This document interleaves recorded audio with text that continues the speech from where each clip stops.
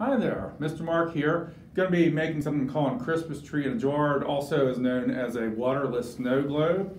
And of course it's December already, so we're going to be doing some holiday crafts. And it's the first one going to be starting out with. I'm going to show you some, there's different ways you can make it. I'm going to show you some different ways you can do that and um, get into it and maybe you can make one at home. So since it's a Christmas tree in a jar, let me show you what we need first. You're going to need a jar, of course, and you're going to need a Christmas tree. And also you need something for making the snow, and I'll get into that here in a second, and then have some extra things that you can throw onto it. So let's talk about the jar first of all.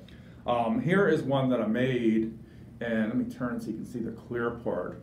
Let me shake it up a little bit. So you see it doesn't have the water, it uses foam uh, for the snow. And so I used a small mason jar, and I'll tell you in a second how I put all this together. We're going to be adding to it as well. So I used a mason jar for that. And you can use bigger mason jars. I have one here.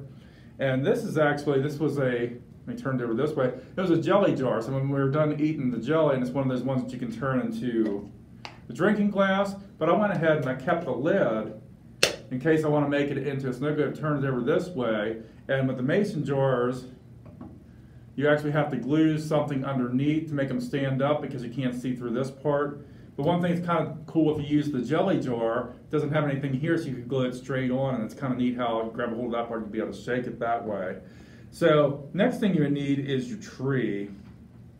And it depends on what size jar you're using as to what size tree. You can get these little model trees at um, any craft store. They're basically like a little brush with some frosted snow on it. And they also, you can get them white or different colors as well. And then they have a little plastic stand. And it's good that it's kind of flat because you're going to be hot gluing it into your jar. And the next thing to need is your snow. And the snow that I have is foam snow. And these are like ball type. They're made out of styrofoam. You can buy these at the store. You can also buy it in a more fine form. And I didn't buy the fine form, but I decided to make my own. And let me show you how I did this. I had a craft foam block from the craft store.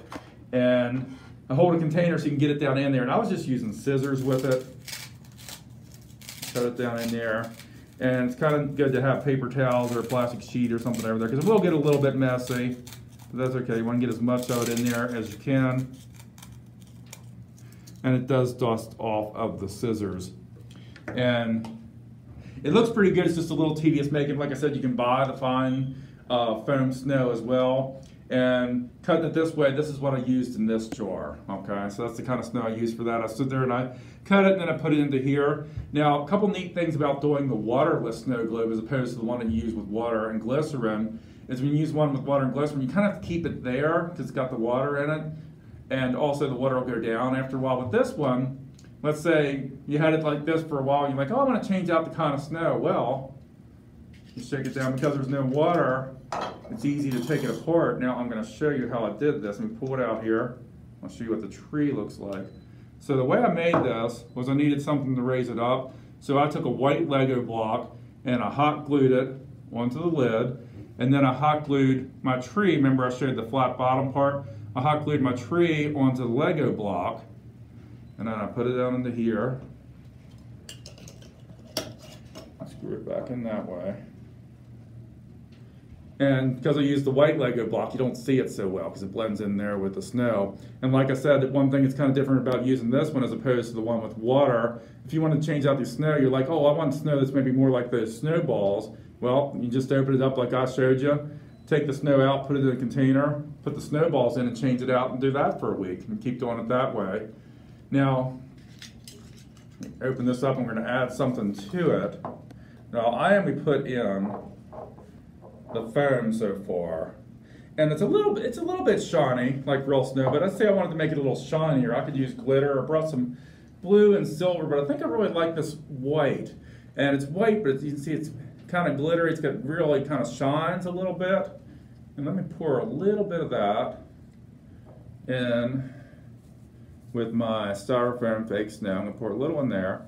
And this is very fine glitter. And so we're going to put our globe back together, put our tree back in, put the metal ring around it, screw it on there fairly tight, shake it up. See now it's got the glitter in there, it's a little shinier than it was.